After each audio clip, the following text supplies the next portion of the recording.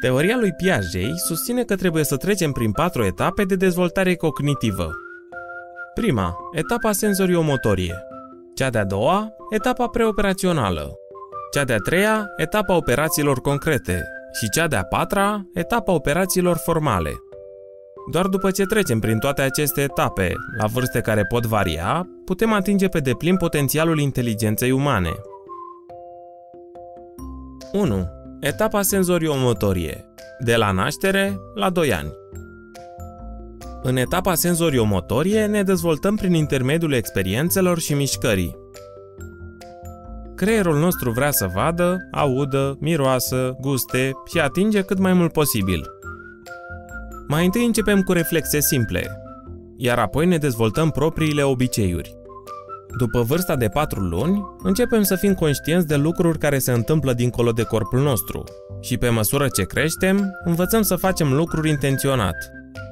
Acesta este un punct de cotitură în dezvoltarea memoriei funcționale, sau cum spunea Piaget, realizarea permanenței obiectelor. Până atunci, dacă mama ne arăta un ursuleț și apoi îl ascundea, credeam că acesta a dispărut.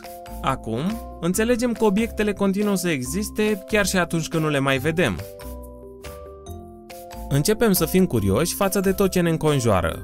Vrem să mirosim florile, să simțim gustul mâncării, să ascultăm sunete și să vorbim cu oameni străini.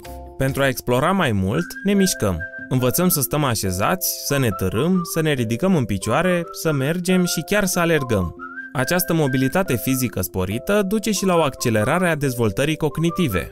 Cu toate acestea, rămânem egocentrici, adică percepem lumea doar din punctul nostru de vedere, 2. Etapa preoperațională. Vârste între 2 și 7 ani. Gândirea noastră e împărțită în principal în funcții simbolice și gânduri intuitive. Avem o mulțime de fantezii și credem că obiectele sunt însuflețite. Cum nu suntem capabili să desfășurăm operațiuni cognitive precise, Piaget numea această etapă preoperațională. Învățăm să vorbim și să înțelegem că imaginile, cuvintele și gesturile sunt simboluri pentru altceva.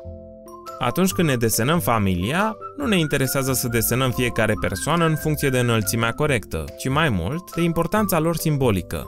Când ne jucăm, ne place să pretindem că suntem altcineva, ceea ce ne permite să experimentăm lucruri noi și să învățăm multe.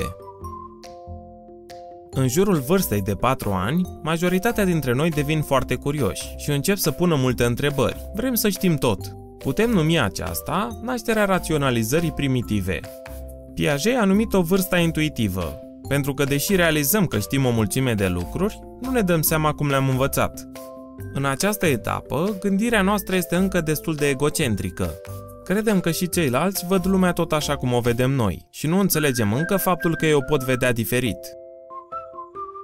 3. Etapa operațiilor concrete.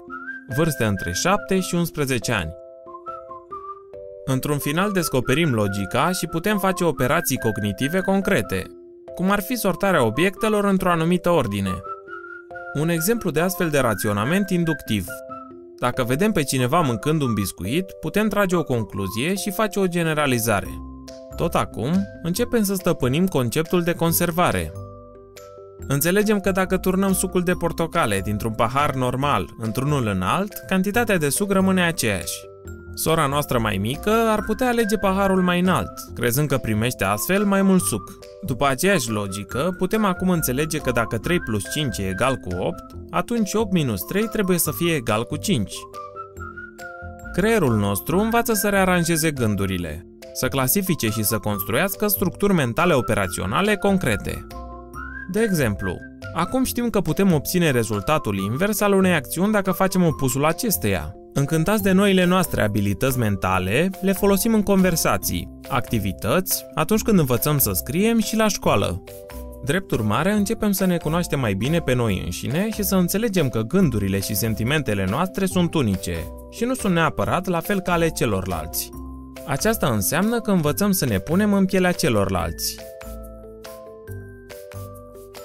4. Etapa operațiilor formale. Vârste de la 12 ani în sus. Odată ce ajungem adolescenți, devenim operaționali și la nivel formal.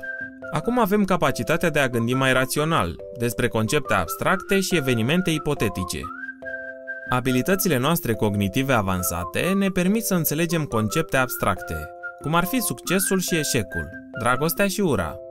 Construim acum o înțelegere mai profundă a propriei noastre identități și a moralității. Tot acum începem să credem că înțelegem de ce oamenii se comportă în modul în care o fac și astfel devenim mai empatici. Creierul nostru poate face acum raționamente deductive, adică poate compara două afirmații și poate ajunge la o generalizare logică. Noile noastre abilități mentale ne permit să ne planificăm viața sistematic și să stabilim priorități. Putem chiar să facem presupuneri despre evenimente care nu au neapărat legătură cu realitatea. Acum putem filosofa și ne putem gândi la gândirea însăși.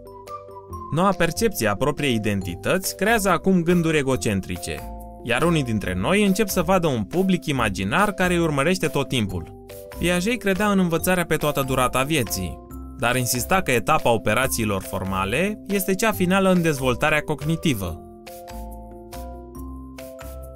Jean Piaget a fost la început interesat de animale și a publicat prima sa lucrare științifică despre vrăbile albinoase, în 1907, pe când avea doar 11 ani.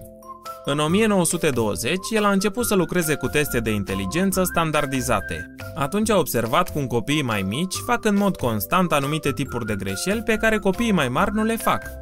Astfel a ajuns la concluzia că probabil ei gândesc în alt fel și și-a dedicat tot restul vieții studierii dezvoltării intelectuale a copiilor.